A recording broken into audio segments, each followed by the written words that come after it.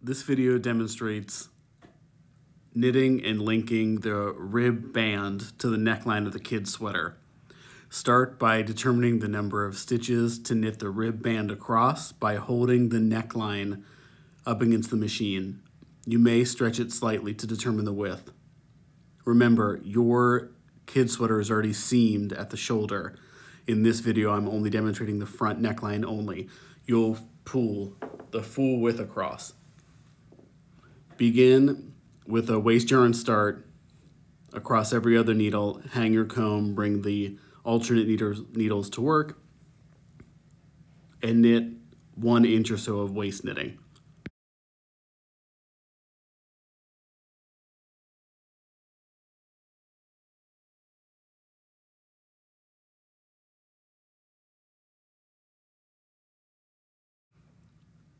break your waste yarn, and knit in one row of ravel cord.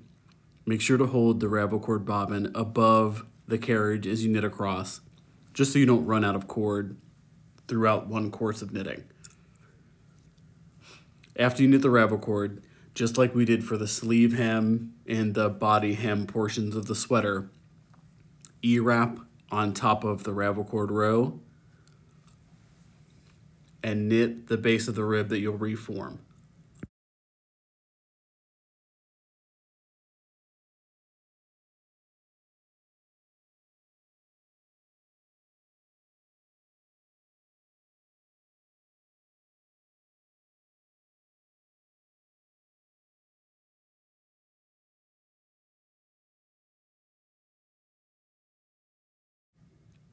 After E-wrapping, knit almost one inch of jersey stitch. This is gonna be your row gauge minus one.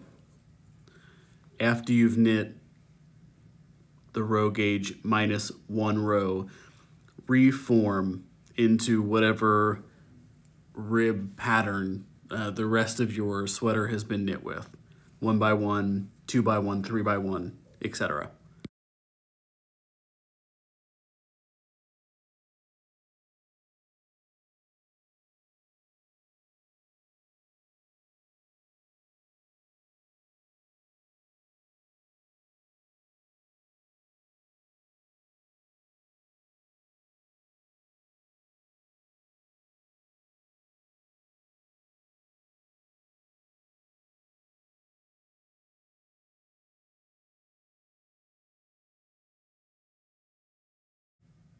after you've reformed the rib, knit one more plain row in your main yarn, which will essentially be the last row of your one inch or your row gauge. So if your row gauge was seven, you would have knit six rows, reformed those six rows, and then the seventh row will be this last plain row. We're gonna use this end of yarn to link the neckband on. So make sure that you've got about three times the width of the knitting before you break the main yarn. You'll need a long tail. Thread up waste yarn in a strongly contrasting color and knit about two inches of waste directly on top of the finished rib. No E-wrap, nothing else, just change the color and knit. After you've knit about two inches, break the waste yarn, empty the carriage, and run the carriage across empty to strip off the work. You can pull out the ravel cord as we have for sleeve hem and the body hem opening and then prepare to hang the neckline, the neck band rather, back onto the machine. You're gonna hang the band above the needles, which is a little bit different than what we've been doing so far, but you're gonna pick up the last loop of main yarn knitting and hang it back on the same needles you just stripped off across. So here you can see uh, the edge is a bit tricky, but picking up the last loop of the brown yarn and hanging it onto the last needle from which it was knit off.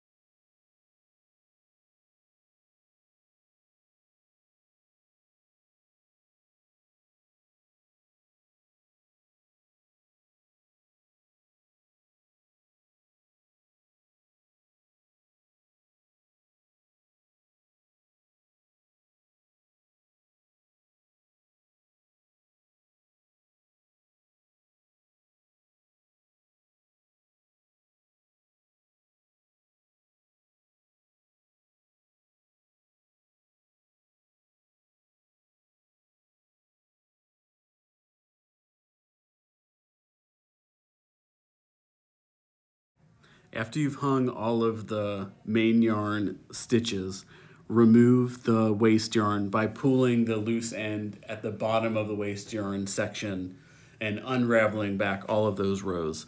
At this point, you'll receive confirmation if you've hung them back uh, in the appropriate place. If you have to pick up a stitch or two here, that's okay. Uh, do your best.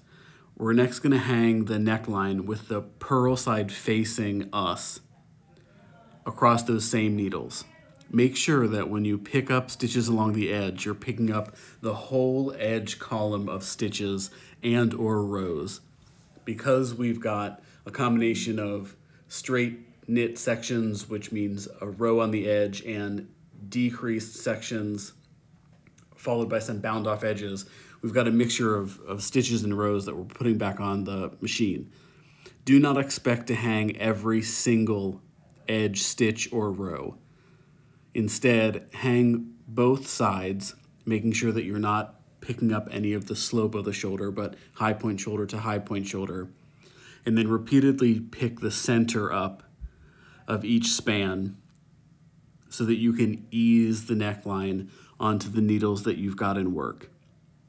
So select the center, another center, and then continue to fill in those segments until you've got work or stitches or rows rather on every single needle. Once it's all hung, push the work back against the gate pegs.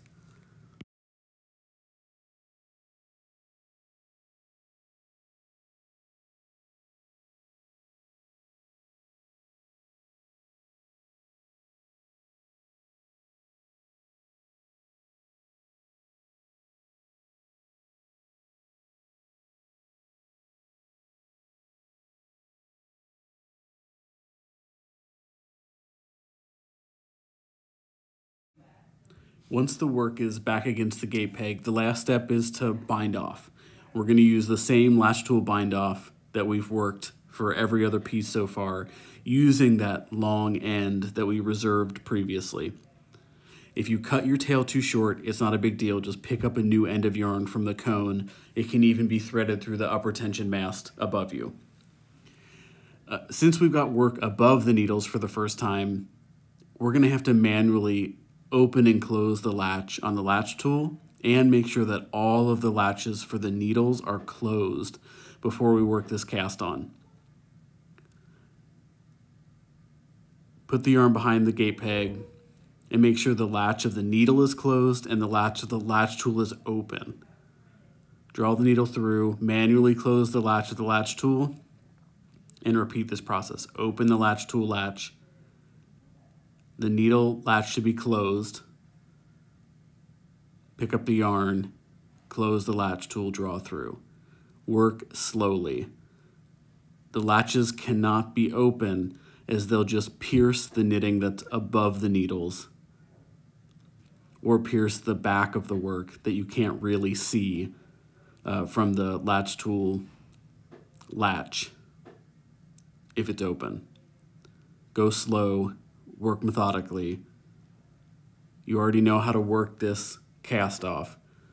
Things just look a little bit different this time.